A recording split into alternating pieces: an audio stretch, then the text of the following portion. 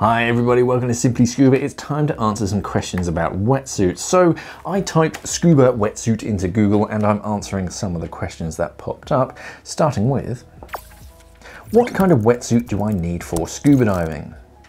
The thickness of your wetsuit really depends on how cold the water is, how long the dive is planned to be, how much you personally feel the cold, and most of all, the quality of the wetsuit itself.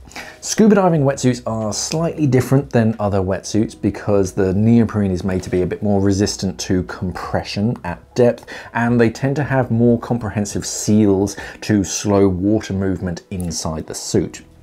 For diving in warmer waters, say in the tropics, many divers opt for just a two and a half mil shorty. Um, they're very quick and easy to put on. They cover your core to keep you warm and you can move around quite freely inside of a shorty. For longer dives though, a 3 mil full suit is usually best because they cover the extremities and they're a little bit thicker to add a bit more insulation but not too much buoyancy. 5 mil suits are a great all-rounder for colder waters or just longer dives in warmer waters, most divers end up getting a 5 mil and having that in their dive locker. 7 mil suits that do exist and they're made for cold waters. They're typically semi-dries at this thickness and a lot of divers just tend to skip over this thickness as well and just go straight to a dry suit, but they definitely work if you don't want to go for a dry suit. There are a few different types of neoprene as well today. The most basic is petroleum based. It's pretty cheap, it does the job and it's more basic, um, which isn't particularly flexible as well. They, they do feel quite stiff when you compare it to some of the nicer ones nowadays. More expensive blends will allow you to bend and flex, uh, so they're definitely worth investing a little bit more, especially when you're planning to wear the suit for any length of time.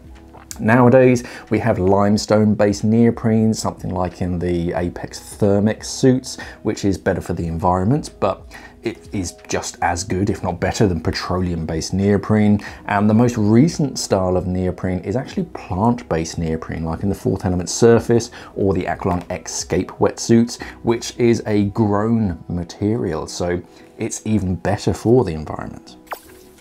What does a scuba wetsuit do? A scuba wetsuit is made to insulate you and keep you warm in the water.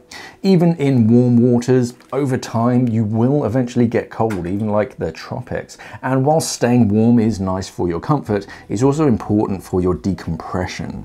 A wetsuit is quite simply just a skin-tight foam material and all of those tiny bubbles in that foam act much like double glazing in your windows to slow heat from radiating away from your body.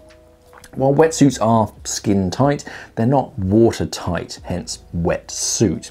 They allow a small film of water into the suit and then the suit just warms that up with your body heat. With good seals to slow that water down and good internal material to hold it in place, only a small amount of water will actually find its way into a good fitting wetsuit and help to keep you warm.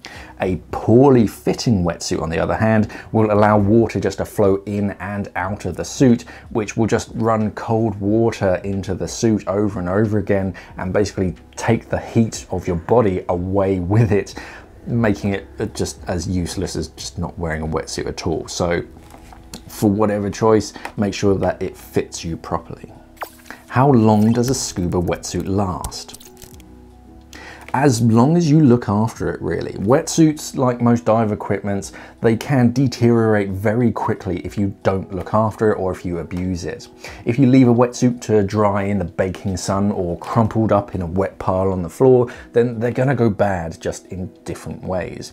The sun can bleach suits and actually make the materials weaken so they go nasty quicker. Left wet on the floor and just microbes are gonna start to fester and your suit is just gonna smell. Folding wetsuits, hanging them on thin wire hangers, they can crease them and actually pinch the foam. So those little insulating bubbles, they've been pinched and they don't really exist anymore. So it doesn't insulate you in that particular area. But If you look after your suit, you wash it properly and let it dry properly as well, give it a good shampoo treatment from time to time, and you'll get a good 10 years out of your wetsuit easy, maybe even more. The problem comes that diving itself can damage your suit gradually over time not from, or not just from bumps and scrapes or anything, but actual compression. Diving deep and the pressure actually compresses the wetsuit and after repetitive compression it's just going to thin so your 5 mil is actually as warm as a 3 mil after hundreds of dives but you'll still get a good 5 years out of a decent wetsuit very easily but just remember the longer it goes the thinner it often gets. What is the warmest wetsuit for scuba diving? An 8mm semi-dry is probably going to be the warmest wetsuit you're going to find. Something like a Apeks Thermiq that I mentioned earlier.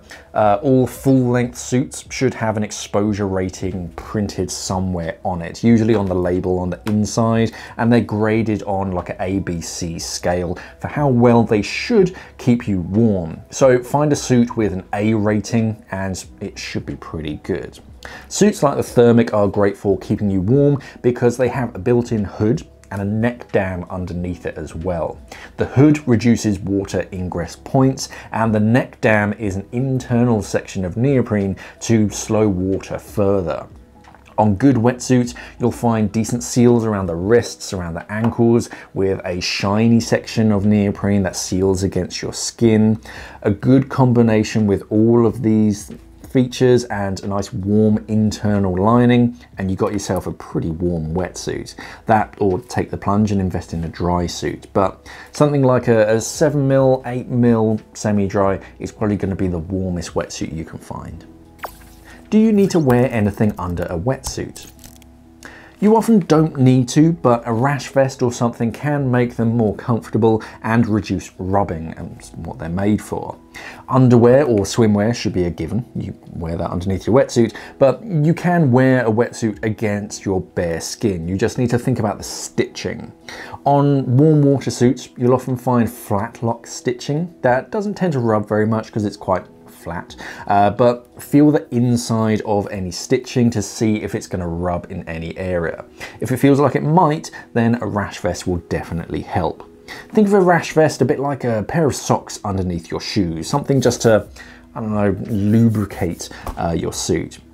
You can get some thermals for wetsuits to wear underneath it, something like Fourth Element Thermocline that you can wear underneath your wetsuit over your core to help sort of boost the thickness so it stays warmer. They help to trap body heat and they also help to reduce rubbing as well. But of course, you need the space underneath. If your wetsuit is fairly tight as it is, then a rash vest won't be a problem because they're pretty thin, but a thicker undersuit like Thermocline might start to get it a little bit too tight, especially around the chest. Another option is to wear a shorty over the top of your suit. You can sometimes find like 5mm shorties that are specifically made to be worn over your wetsuit. They're usually called systems, something that you wear over the top, but yeah, you, you can wear a rash vest. That's usually what most divers end up with, just a, a long sleeve rash vest to help them get in and out of the suit and to stop it from rubbing anywhere. Wetsuits are great, but with so many things in life, you get what you pay for. And if you hold a cheap suit up against a really fancy suit, you're gonna notice the difference. It's, it's rare that you're just paying for the name. You're actually paying for better materials and seals, which is important in something that's keeping you warm. And when you do invest in your own wetsuit, suit, look after it. Use a proper detergent and of course let it dry properly uh, out of the sun if you can. If you need a new wetsuit, then check the ones out on our website, simplyscuba.com. Uh, I'll pop a link down in the description below so you can check them out. Thank you for watching everybody and of course, safe diving.